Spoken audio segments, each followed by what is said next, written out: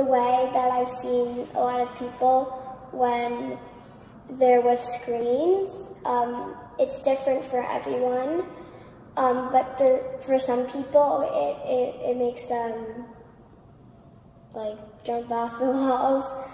Um, um, and I'm like, I think that the technology will be a, a, a very different thing, and not saying bad or anything, but it's not definitely the best thing that anyone could have.